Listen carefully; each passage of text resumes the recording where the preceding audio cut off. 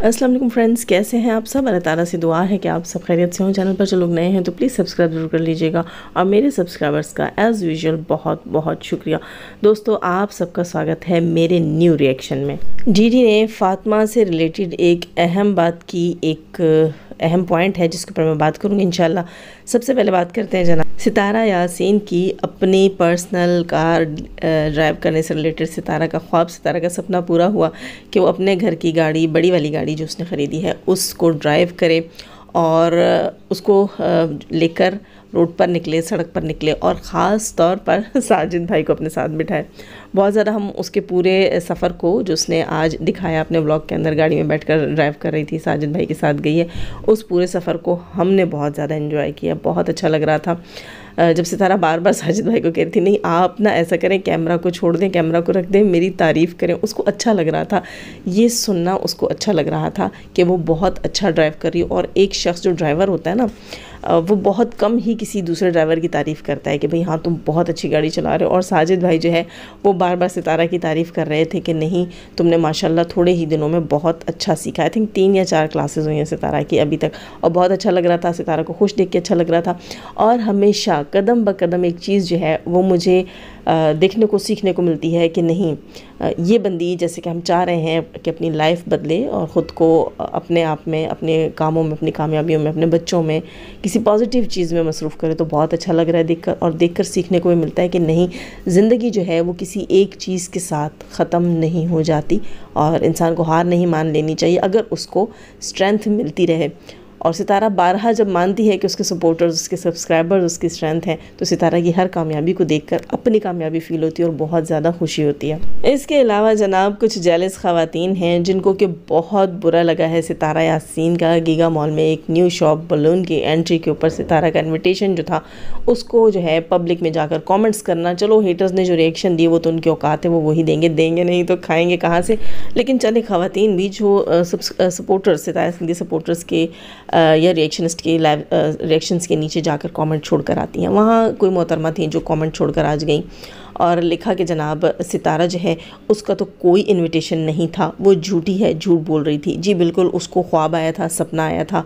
और सपना था उसका, जो उसने दिखाया था हमें कि बलून्स की तरफ़ से उसको एक जो है वो गिफ्ट मिला जिसमें कि पैकिंग में उसकी बेटी, दोनों बेटियों की फ़्रॉक्स थी।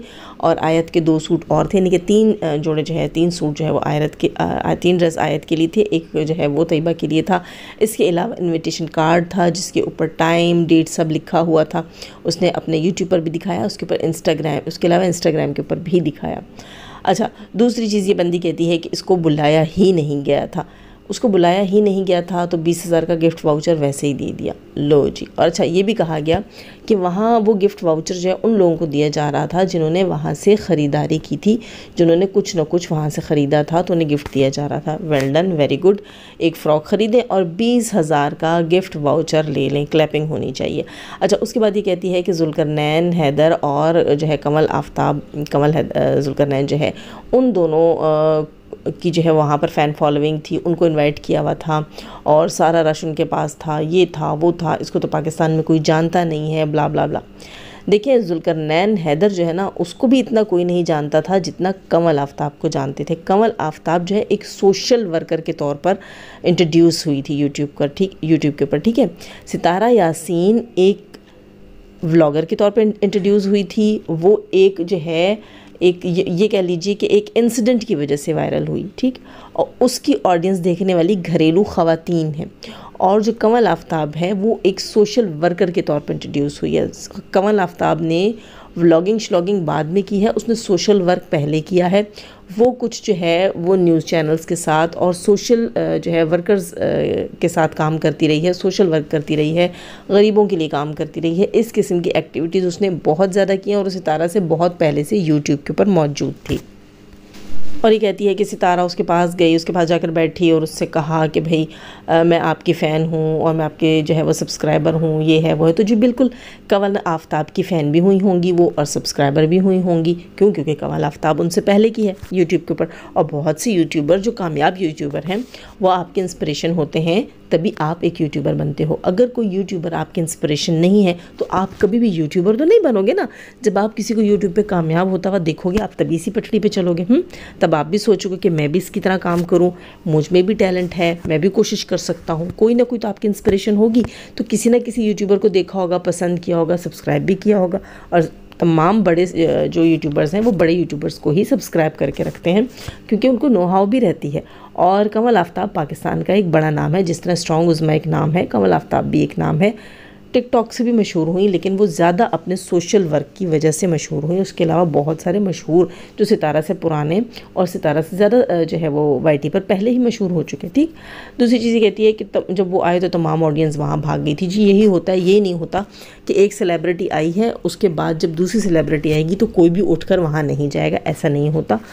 जो सोशल मीडिया इवेंट्स को कवर करते हैं वो हर जगह मौजूद होंगे और वो हर सेलिब्रिटी के साथ मौजूद होंगे। वो हर यूट्यूबर के आने के ऊपर जाकर उसका इस्तकबाल करेंगे, ठीक है? तो यहाँ आप अपनी जेलसी मत झाड़ें। आपको नहीं पसंद, आप ना देखें सितारा यासीन को। खैर जनाब, बात करेंगे थोड़ी सी यहाँ पर। अनवर सॉरी अकबर चचा से रिलेटेड उसने आकर आज दोबारा बेटे को मुखातिब किया और उसने कहा कि तुम जो कुछ भी बोलते हो, फातिमा के लिए तो आकर बोलते हो, लेकिन तुम्हारी गोद में ली हुई साली, ये अल्फाज मेरे हैं, उसने शायद ऐसा नहीं कहा। इसमें जो, इसने जो गोद में साली ली हुई है ना, छमिया की गोद में खुद बैठा हुआ और अपनी गोद में इसने सायमा को बिठाया हुआ तो जिसको इसने गोद में बिठाया हुआ, उसको ये जवाब नहीं देता, ठीक है? अंकल का कहना ये था कि तुम फातिमा के लिए तो जवाब देते हो, वहाँ क्यों नहीं बोलते? वहाँ तुम्हें ज़रूरत नहीं है। और फातिमा के लिए बोलना इसलिए आसान है क्योंकि वो एक गरीब लड़की है। तुम उसे आराम से डांट भी लिया करते थे क्योंकि वो गरीब थी ठीक है? तो गरीब थी लावारिस तो नहीं थी हम्म, और इतनी भी गरीब नहीं थी बाप उसका सऊदिया में बैठा हुआ था दिलबर से तो ज़्यादा औकात थी इनकी। उसके भाई का घर हमेशा ये जाकर यूज़ करते हैं अपना तो गाँव में इनका घर यूज़ के काबिल भी नहीं है तो उनकी वैल्यू उनकी औकात तो फिर बेहतर थी। तो मुझे समझ नहीं आई कि यहाँ अकबर अंकल जो है वो क्या क्या बताना चाह रहे हैं? दूसरी चीज़ जनाब, यहाँ पर छमिया की बहन को फिर से तकलीफ़ हुई है, लाइव लगाई है और उसका बस नहीं चल रहा था कि वो अकबर को क्या कड़ाके कड़ाके की गालियाँ निकालें। और सोचने की बात है, एक बंदा तुम्हारे घर का दामाद है, तुम्हारा बहनोई है और तुम बैठ के उसके बाप को गंदे अल्फाजों से याद कर रहे हो, लेकिन सही वाला लोगों ने दगड़, दल्ला नाम रखा है। अगर ये दल्ला ना होता तो उसके घर वालों को ऐसे गालियाँ पड़ती और ये बैठ के उनकी थालियाँ चाटता। अब्बा को गालियाँ, बेटे को थालियाँ चाटने के लिए दी हुई हैं। कमाल है कमाल है। क्या मिसरा कहा यार मैंने। आप भी वाह वाह वाह वाह ज़रूर लिखिएगा, ठीक है? कमेंट सेक्शन में। अब आते हैं जनाब अपने मेन पॉइंट की तरफ़। अच्छा आज मैंने किसी का ब्लॉग नहीं देखा, किसी का रिएक्शन नहीं सुना। सिर्फ़ सितारा यासिन का ब्लॉग अब से थोड़ी देर पहले देखा और उससे थोड़ी देर पहले जनाब आए हुए थे डी और उसकी चुम्मी, ठीक है? वो आए हुए थे लाइव वो लोग लाइव आए हैं और इत्तेफाक से उसी वक्त फातिमा सरवर, जी जनाब, वो भी लाइव आ गई हैं। ये दोनों तकरीबन सेम टाइम पे लाइव आए हैं। एक दो मिनट बाद जो है वो दो तीन मिनट बाद फातिमा लाइव हुई हैं। और ज़ाहिर सी बात है लाइव ऑन करने में दो तीन मिनट लगते हैं। फातिमा का कहना यह था कि घर वाले किसी शादी में गए हुए हैं और मैं नहीं गई और वाकई नहीं गई। ये चीज़ होती है। ये चीज़ होती है जब किसी औरत के ऊपर ऐसी कोई चीज़ गुजर जाए, ऐसा कोई दुख गुजर जाए ख़ास तौर पर सौतन का दुख, सौतन का दुख, सौतन का जो मैं कह रही हूँ, ठीक है? वो औरत कोशिश करती है कि वो गैदरिंग्स में गेट टुगेदर्स में आस पड़ोस में, दोस्तों में, अपने सोशल सर्कल में सर्कल में पीछे होना शुरू कर दे ठीक है? लोगों से मिलना जुलना कम कर देती है। उसको ये लगता है कि हर आँख जो है, वो मुझसे सवाल कर रही है। हर हर शख्स जो है वो चाहता है कि हम देखें कि इसकी लाइफ में क्या हो रहा है और क्यों हो रहा है और कैसे हुआ ये सब कुछ, ठीक है? तो ये चीज़ें हर एक बंदा सहल नहीं कर सकता ख़ास तौर पर फातिमा जैसी औरत बिल्कुल सहल नहीं कर सकती। तो फातिमा ने कहा कि वो शादी पर नहीं गई। अच्छा फातिमा ने कहा कि मैंने सोचा मैं एक लाइव लगा लूँ। अच्छा किया, उसने लाइव लगाई। इत्तेफाक की बात देखें, मज़े की बात देखें, जब दिलबर लाइव बैठा हुआ है और फातिमा लाइव बैठी हुई है तो दिलबर को देखने वाले डेढ़ सौ लोग और फातिमा को देखने वाले एकदम से चार सौ फिर पाँच सौ।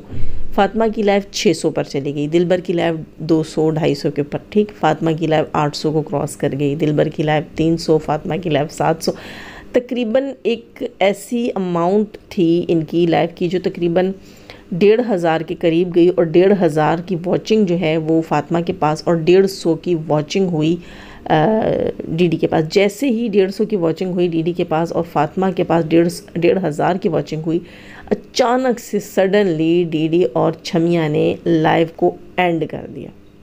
क्यों? क्योंकि तकलीफ़ बर्दाश्त नहीं हुई। अच्छा वहाँ पर बहुत सारे लोग जो है वो कमेंट्स कर रहे थे फ़ातिमा से रिलेटेड जो फ़ातिमा के प्यार में कर रहे थे। सामने ही बैठी हुई स्क्रीन में अब दिख रही है आ, ये बंदी जो है चुम्मी। चुम्मी जो है बैठ के उसको उनको डिलीट कर रही है। सही है? और लोगों से कह रही है, मुझे किसी से लोग उससे पूछ रहे हैं तो कह रही मुझे किसी से कोई तकलीफ़ नहीं वहाँ किसी ने कमेंट किया कि फ़ातिमा के पास जो है, वो तुमसे ज़्यादा वॉचिंग आ रही है। और ये सुनकर उसने जब देखकर कमेंट डिलीट किया तो लोगों ने कहना शुरू कर दिया कि, तुम्हें फातिमा से क्यों जेलसी हो रही है? तुम्हें तकलीफ़ क्यों हो रही है? बंदी कहती कि, नहीं, मैंने ऐसा कुछ नहीं किया। अच्छा एक और चीज़ यहाँ जो मुझे अभी जहन में आई, जो उस वक्त भी आई थी कि फ़ातिमा कहती थी कि मेरे चैनल के जो कमेंट्स हैं, वो रिव्यू में जा रहे हैं। पता नहीं क्यों जा रहे हैं लाइव के कमेंट्स रिव्यू में। अच्छा मुझे कोई बताएगा कि अगर चैनल जो है चैनल का एक्सेस आपने किसी दूसरी आईडी को दे रखा हो या किसी दूसरी आईडी ने आपका चैनल का एक्सेस अपने पास रखा हो तो मेरे ख्याल चैनल के कॉमेंट्स जो हैं, वो रिव्यू में जाते हैं। क्योंकि जब हम अक्सर अपना YT स्टूडियो खोलते हैं तो हमारे पास ऑप्शन आता है कि हम अपने चैनल की रसाई जो है वो किसी दूसरे जीमेल अकाउंट को भी दे सकते हैं, किसी और बंदे को भी हम दे सकते हैं एक्सेस अपने चैनल का। तो ऑप्शन आता है, मैंने किसी को नहीं दे रखा, इसलिए मैं पूछ रही हूँ कि अगर किसी ने दे रखा है तो उसको पता होगा कि क्या फिर आप उसको रिव्यू कर सकते हैं? क्योंकि मुझे लग रहा है कि डीडी ने फ़ातिमा के चैनल तक अपना एक्सेस रखा हुआ है। ज़ाहिर सी बात है चैनल्स तो इन्हीं भाइयों ने बना कर दिए थे। खैर देखते हैं अब इसकी क्या रियलिटी निकलती है, क्योंकि मुझे शक है कि एक्सेस डीडी के पास है फातिमा के चैनल का। अच्छा चैनल का एक्सेस होगा, लेकिन ये जो उसने एटीएम कार्ड और बैंकिंग का अपना सिस्टम किया, मेरे ख्याल इसका एक्सेस नहीं है उसके पास, क्योंकि वो कहते हैं ना एटीएम कार्ड मैंने वहाँ से ब्लॉक करके अपने लिए करवा दिया। अब देखते हैं कि फातिमा के नाम पर ही है या नहीं है, ये तो वक्त बताएगा। खैर, दूसरी चीज़ यहाँ पर जो बहुत बड़ी की उसने फातिमा के ख़िलाफ़, जिस जो कि मुझे बिल्कुल भी अच्छी नहीं लगी वहाँ किसी ने कमेंट हाँ इसी कमेंट से रिलेटेड वहाँ किसी ने कमेंट किया कि भाई फातिमा की वॉचिंग जो है, वो छः सात सौ है और तुम्हारी वॉचिंग देखो। तो दिलबर ने वहाँ कहा कि अरे भाई, एक ही बात है, दिलबर हंसा और उसने हँसते हुए कहा कि एक ही बात है, अगर वहाँ वॉचिंग ज़्यादा आ रही है, तब भी और अगर यहाँ कम आ रही है, तब भी दोनों साइडों से मेरा ही फ़ायदा है। वो भी मेरा ही घर है, मेरी ही बीवी है और यहाँ भी मैं ही लाइव हूँ, मेरी ही लाइव है। यानी कि उसने लोगों को ये बताया कि आप लोग जो फातिमा को व्यू दे रहे हैं, आप जो फातिमा को व्यूज़ दे रहे हैं, वो सब मेरा ही बेनिफिट है, वो सब मेरे ही खाते में आएगा। अगेन वही बात जो मैं आपसे कह रही थी कि ये फातिमा को प्रेशराइज़ करके गया है। जो फातिमा का दो दिन व्लॉग नहीं आया, इसने फातिमा को यही प्रेशराइज़ किया कि या तो तुम यूट्यूब से हट जाओ या फिर पैसा मुझे दो। ये हंड्रेड परसेंट ऐसी ही कोई चाल इसके साथ चल कर आया है, वरना फातिमा इतने प्रेशर में नहीं थी और ना ये पब्लिक में आकर ऐसी बात कहता। ठीक? अच्छा इसके पब्लिक में कहने से फातिमा को एक ये जो है इनडायरेक्टली नुकसान भी पहुँचा रहा है। वो ये कि लोग जो है वो फातिमा पे ट्रस्ट ना करें और यही कहें कि ये सारा पैसा जो है, ये डीडी ही हड़पेगा और डीडी अपनी चुम्मी पर ही खर्च करेगा, जो बच्चे डीडी ने औरत, औरतों से, ठीक है, औरतों से पैदा करवाए हैं। एक आयशा से पैदा करवाया लिया दो फातिमा से पैदा करवा लिए, वो उसने सारे उठाकर फातिमा के सर पर दे मारे हैं और फातिमा यूट्यूब से कमाकर उन बच्चों को पालेगी, जो कि हक नहीं बनता फातिमा का। अच्छा यहाँ पर ना फातिमा की लाइव भी ऑन थी और मैं फातिमा की लाइव में थी। फातिमा की लाइव में लोगों ने बाकायदा कुछ लोगों ने आकर कमेंट्स करना शुरू कर दिए कि तुम जो है वो लोगों के के साथ गेम खेल रही हो तुम होशियार बन रही हो तुम जो है यहाँ से व्यूज़ ले रही हो तुम्हारे ही शोहर का फ़ायदा कर रही हो तुमने तुम लोगों ने अगर व्यूज़ ही करने हैं तो तुम जो है वो आके यूँ बोलो तुम वो बोलो तुम क्यों जो है आ, लोगों को बेवकूफ़ बना रही हो अपना दुख रो रही क्यों? क्योंकि डी ने वहाँ लाइव में कहा कि दोनों तरफ़ मेरा फ़ायदा है वो व्यू वो पैसा भी मेरे ही पास आना है। लाइव में उसके अल्फाज पढ़े। अच्छा ये चीज़ मुझे बहुत बुरी लगी। वहाँ पर लोग इस तरह के कमेंट्स भी कर रहे थे फातिमा को। तो फिर मैंने भी वहाँ कमेंट किया कि फ़ातिमा, डीडी ने जो अल्फाज बोले हैं तुम्हारे लिए अपनी लाइव में, वो बिल्कुल अच्छे नहीं बोले हैं। वो तुम्हें नुकसान पहुँचा रहा है। और इसके ऊपर मैं रिएक्शन दूँगी फ़ातिमा ने कहा, उसने क्या कहा है? आप मुझे इंस्टा पर बताएँ। मेरा अल्लाह गवाह है कि मेरे पास फातिमा का इंस्टा नहीं है, उसने अपनी कोई आईडी भी बताई, मैंने नहीं सुनी क्योंकि उस वक्त मेरे पास कमरे में जो है कोई मौजूद थे, वो बातें कर रहे थे, मुझे सही से सुनाई नहीं दिया और ना फिर मैंने जाके ढूंढा, ना मेरे पास इतना टाइम था कि मैं डी की लाइव में वापस जाके वो सीन रिकॉर्ड करूँ और जाकर फातिमा को सेंड करूँ। क्यों? क्योंकि मैं रिएक्शनिस्ट हूँ और मेरी ऑडियंस को पता है कि जाजिब झूठ नहीं बोलती, जो कुछ मैंने सुना, कई लोगों ने सुना होगा, ठीक है? वैसे ही तो लोग वहाँ कमेंट नहीं कर रहे थे ना? वैसे ही तो लोग वहाँ जाकर फातिमा को बुरा भला नहीं बोल रहे थे। मतलब डी डी फातिमा का दुश्मन बना हुआ है, ये फातिमा को गिराना चाहता है। फातिमा से जेलिसी की इंतहा हो गई है इसको। तुमने फ़ातिमा के साथ इतना बड़ा फ्रॉड कर लिया, उसको दुख दे दिया, उसको तकलीफ़ दे दी, उसको अजियत भी दे रहे हो, उसके बाद भी बैठ कर तुम कहते हो कि वो बर्बाद हो, कभी आकर पब्लिक में कहते हो, मेरे लिए पका रही है, ये देखो मेरे लिए कौरमा बनाया है, ये देखो मेरे मेरे लिए पराठे बनाए हैं। फिर लोगों को कहते हो, हम इकट्ठे सोते हैं एक बेड के ऊपर। फिर तुम लोगों को कहते हो कि, अगर व्यू वहाँ जा रहा है, तब भी मेरा ही फ़ायदा यहाँ जा रहा है, तब भी मेरा ही फ़ायदा यानी कि लोगों को ये कहना चाहता है कि फ़ातिमा को देखना छोड़ दो, उसको व्यू देना छोड़ दो, ताकि इसकी छमिया को सुकून हो। लेकिन मैं बता रही हूँ कि जो चुम्मी, पप्पी, छमिया जैसी औरतें होती हैं, इनको खुदा की कसम कभी भी सुकून नहीं होता। अगर इनको सुकून होता तो ये एक के बाद दूसरा, दूसरे के बाद तीसरा, ये इतने हस्बैंड नहीं करती। ये एक के साथ ही बोल देती, नहीं हाँ हूँ सानू आराम है है ना? हमें अब सुकून है, हमें दूसरे की ज़रूरत नहीं है। और एक और चीज़ यहाँ पर जो सवाल मेरे जहन में उठा था, वहाँ मैंने फ़ातिमा से भी किया था। एक चीज़ मुझे समझ नहीं आई डी की लाइव में किसी ने कॉमेंट किया कि तुम्हारी बेटी दस साल की है और तुम चालीस साल की हो तो तुम अपने आप को छोटी क्यों बताती हो, सच्चाई को मान क्यों नहीं लेती? वहाँ पर इत्तेफाक से उस वक्त ये बात कर रही थी, कह रही थी, हमने निकाह किया है कोई गुनाह तो नहीं किया तो आप सच्चाई को कबूल क्यों नहीं कर लेते? तो बीबी तुम्हारी दस साल की बेटी है, ठीक है? तुम कोई छुन्नी मुन्नी का की हो नहीं? ये कहते हैं कि ये इसकी बहन कहती है कि मैं अट्ठाईस की हूँ और ये चुम्मी जो है, ये चौबीस की अब आप मुझे बताएँ, चुम्मी चौबीस की है, बेटी उसकी तकरीबन दस ग्यारह साल की है। तो क्या चुम्मी ने चौदह साल की बेटी में बेटी चौदह साल की उम्र में बेटी को जन्म दिया? क्या चुम्मी की शादी जो है बारह तेरह साल की उम्र में हो गई थी, अगर देखा जाए? तो चुम्मी की बेटी जो है, वो चौदह साल की उम्र में पैदा हो चुकी थी, बकौल चुम्मी, इसीलिए चुम्मी की बेटी दस साल की और चुम्मी जो है, वो चौबीस साल की, सोचने की बात है। अच्छा ये सवाल मैंने जाकर वहाँ फातिमा से किया कि मुझे एक चीज़ समझ, एक और चीज़ इससे रिलेटेड मुझे समझ नहीं आई। मैंने ये, इस बंदी का सवाल भी बिल्कुल ठीक था। जो मैंने सवाल फातिमा से किया, चुम्मी से रिलेटेड मैंने कहा, चुम्मी की बेटी दस साल की बड़ी औलाद, ठीक है? तुम्हारी बड़ी बेटी छः साल की है? उस लिहाज से चुम्मी की अगर बेटी बड़ी है तो चुम्मी तुमसे बड़ी है। तो फातिमा, तुम ये क्यों कहती हो कि मैं बड़ी हूँ? तुम बड़ी नहीं हो। चुम्मी उम्र में तुमसे बड़ी है, ये अलग बात है कि तुमने दुख देखे हैं। तुम्हारी माँ का जल्दी जो है वो दुनिया से चली गई थी, तुम्हारी माँ का दुख तुम्हें मिला, उसके अलावा तुम्हारे बाप ने शादी की, वो भी तुम्हारे लिए कोई खुशी की बात नहीं हुई होगी। भले तुम्हारी सोतेली माँ तुम्हारे साथ अच्छी हो, लेकिन तुम्हें कहीं ना कहीं अपनी माँ की याद ज़रूर आती होगी। उस चीज़ की वजह से भी इंसान के जिसम पर, सेहत पर, दिमाग पर बहुत ज़्यादा असर पड़ता है और उसकी स्किन पर उसके बालों के कलर पर बाल जल्दी वाइट होने लग जाते हैं। इंसान खुद को ज़यीफ़ और थकावा महसूस करता है, दुखों की वजह से। उसके अलावा फिर जनाब, आगे इसको एक सौतेला बेटा भी तो गिफ्ट में मिला हुआ था, वो भी इसने पाला है। इसकी ज़िंदगी में बहुत से उतार चढ़ाव आए हैं। अच्छा मैंने फ़ातिमा का ब्लॉग भी आज देखा था, फ़ातिमा जिसमें कह रही थी, उसने अपील की, उसने मैसेज दिया है आयशा से, आयशा को कि भाई तुम्हारा बेटा वाकई वाकई ये बात उसकी बिल्कुल ठीक है कह रही तुम्हारा बेटा बड़ा हो रहा है और उसने कल बाइक चलाई है, दोस्त से लेकर शायद चलाई होगी, उसने बाइक चलाई है, जिससे वो गिरा है, उसके हाथ पर या उंगली पर चोट भी लगी है।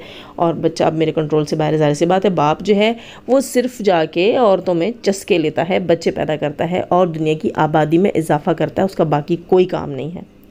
उसका बाकी कोई काम नहीं है। उसे एक बुढ़ी घोड़ी लाल लगाम मिली हुई है। वो उस बुढ़ी घोड़ी के साथ जाके बैठ गया है और दुनिया पे बच्चे जो लाए हुए हैं ना, उनकी तरबियत, उनका सब कुछ घर में बैठी हुई इज़्ज़तदार बीवी के पास छोड़कर खुद एक बाजारू बीवी के पास बैठा हुआ है। इसको फिर दे देने चाहिए ना, फात अली जो है वो उसको दे देना चाहिए। छमिया को कि छमिया तुम इसको पालो। चुम्मी जो है वो अली को पाले और अपनी वली को पाले और फातिमा जो है वो अपनी दोनों बेटियों को पाले और डीडी जो है वो इन दोनों को पाले, है ना? और डीडी के चैनल से दोनों का खर्चा होना चाहिए। यहाँ मुझे कहीं ना कहीं शक है कि ये बंदा फातिमा को प्रेशराइज कर रहा है। इसने फातिमा के साथ या तो कोई डील की है या कोई शर्त रखी है कि तुम चैनल सिर्फ़ इस शर्त पर चलाओगी कि तुम पैसा मुझे दोगी, वरना मैं यूँ का वो कर दूँगा।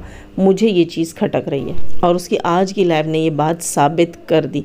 खैर दोस्तों, आप अपनी कमेंट अपनी राय का ज़र कमेंट सेक्शन में ज़रूर कीजिएगा लाइक ज़रूर कीजिएगा और यहाँ पर मैं फ़ातिमा से भी कहूँगी, तुम्हें कमज़ोर होने की कोई ज़रूरत नहीं है, मज़बूत रहो और आगे बढ़ो और तुम्हें डी की किसी किस्म की कोई शर्त मानने की ज़रूरत नहीं है। तुमसे तुम्हारा चैनल तुम्हारे बच्चे कोई भी नहीं छीन सकता। अपना दोस्त अपना बहुत सारा ख्याल रखिएगा तो हम याद रखिएगा और अल्लाह हाफिज़।